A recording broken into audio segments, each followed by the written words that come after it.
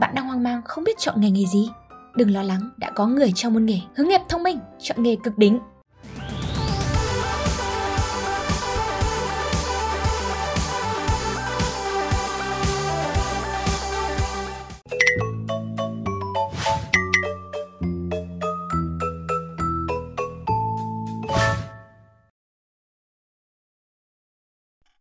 Từng nắm trong tay quyền kiểm soát gần như toàn bộ Thái Bình Dương rộng lớn, Hải quân đế quốc Nhật Bản là một trong những lực lượng hải quân mạnh nhất trên thế giới từng tồn tại.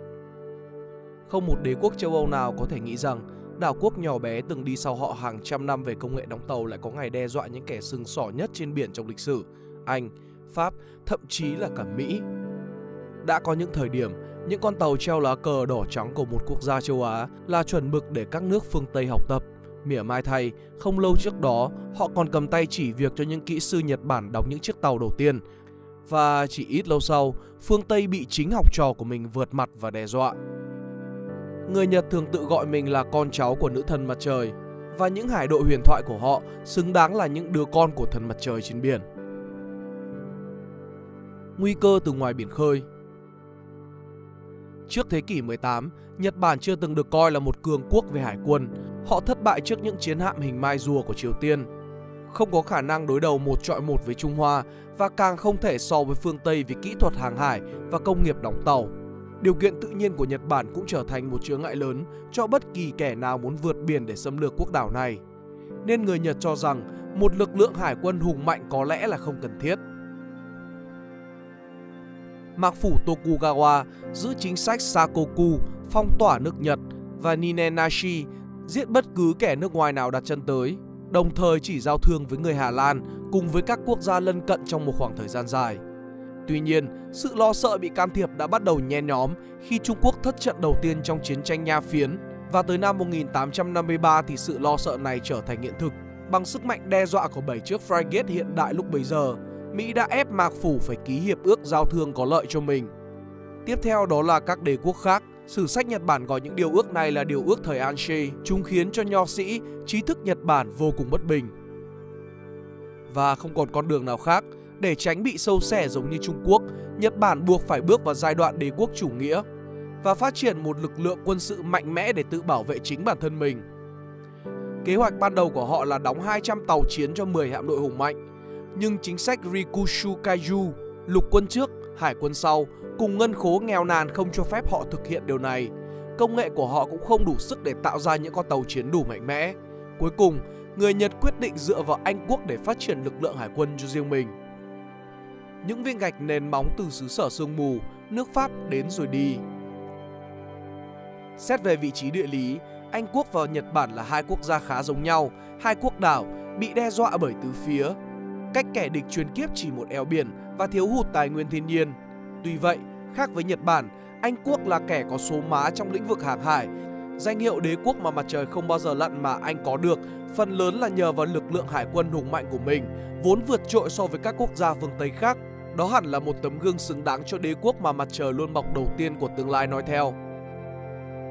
Nhật Bản bắt đầu bằng việc gửi các sĩ quan của mình đi học ở Anh, Mỹ, thuê các sĩ quan Anh về huấn luyện và mua những con tàu chiến hiện đại đầu tiên từ nước Anh.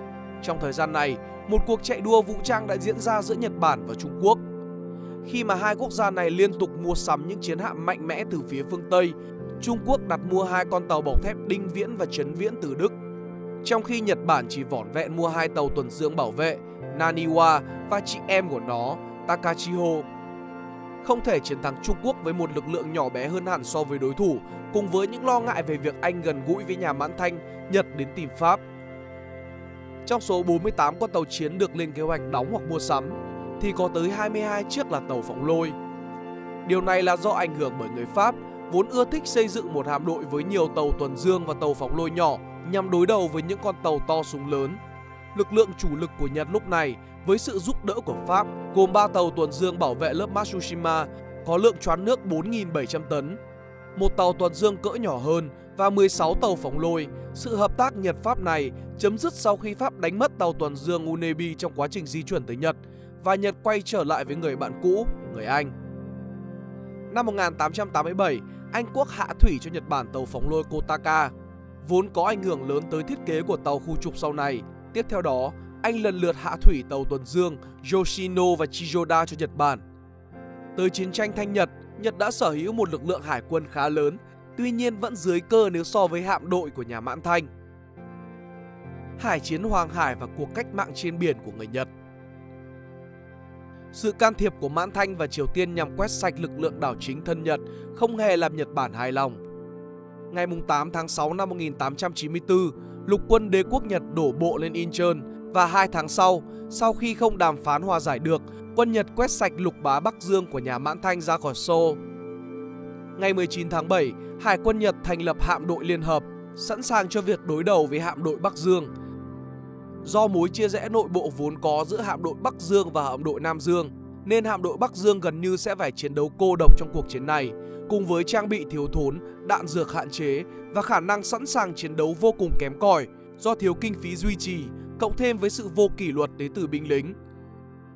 Lý Hồng Trương muốn trì hoãn cuộc đánh bắt buộc phải xảy ra nhằm tái trang bị lại cho hạm đội của mình, nhưng bị triều đình nhà Thanh khước từ. Lời thỉnh cầu khiến ông bị coi là kẻ hèn nhát và mệnh lệnh được đưa ra là bằng mọi giá ngăn chặn hạm đội của Nhật, bảo vệ tuyến đường tiếp tế sống còn cho lục quân Bắc Dương.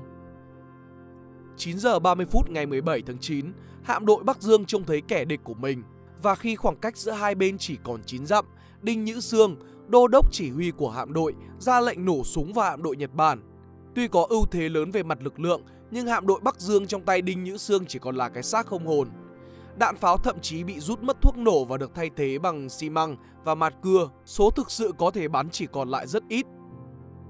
Những tấm chắn bằng thép cho dàn pháo hạng 2 bị binh lính tháo bỏ để bán lấy tiền hút sách.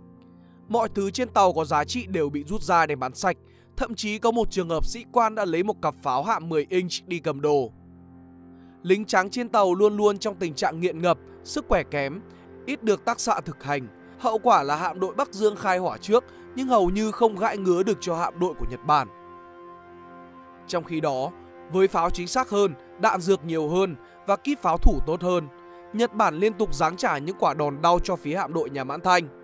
Đây cũng là lần đầu tiên trong lịch sử chiến thuật cắt chữ T được đưa ra sử dụng trong một trận hải chiến bằng pháo hạm hiện đại. Hải đội tuần dương tốc độ cao của Nhật sử dụng tốc độ cao cắt qua mặt của hạm đội Bắc Dương, đánh tạt vào sườn kẻ địch, xé lẻ đội hình địch, ép đối thủ phải giao tranh ở tầm gần, nơi mà những khẩu pháo 6 inch 152mm có tốc độ bắn cao hơn là một lợi thế rất lớn. Cùng lúc đó, hải đội chính với kỳ hạm Matsushima cắt ngang mặt hạm đội Bắc Dương và xả toàn bộ pháo qua một bên mạn tàu nhằm lấy ưu thế về số lượng đè bẹp kẻ địch. Cuối cùng, cả hai chiến hạm bọc thép của nhà Thanh đều hết đạn dược và hư hỏng nặng. Năm tàu tuần dương của nhà Thanh chìm xuống đáy Hoàng Hải, ba tàu hư hỏng nặng. Trong khi đó phía Nhật chỉ hư hỏng 6 tàu, một vài chiếc trong số đó trúng nhiều phát đạn pháo nhưng không nổ do bên trong không hề có thuốc nổ. Kết quả đã quá rõ ràng, cùng với chiến sự trên bộ, trận uy hải vệ và việc Nhật Bản đổ bộ lên Đài Loan, Mãn Thanh chính thức thua trong cuộc chiến cuối cùng nhằm tranh giành ảnh hưởng với Nhật Bản. Sau trận đánh trên biển Hoàng Hải, Nhật Bản nghiễm nhiên trở thành một thế lực hải quân mạnh trong khu vực. Nhưng họ còn một thế lực cần phải vượt qua trước khi xưng hùng bá ở Đông Á, đó là đế quốc Nga. Các bạn thấy đấy, lịch sử không hề khô khan đúng không?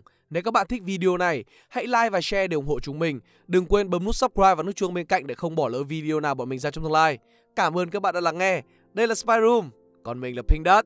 See ya!